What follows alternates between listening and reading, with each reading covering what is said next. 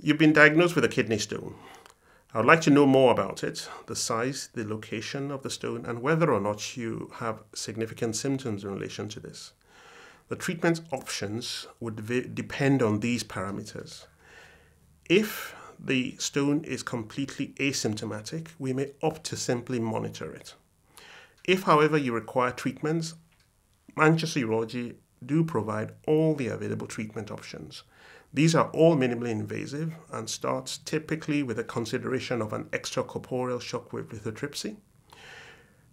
In addition, uh, which does not require any anesthetic. In addition, though, we do have procedures that require a short anesthetic, either a ureteroscopy and laser treatment to a stone or a percutaneous nephrolithotomy. These are highly successful treatments.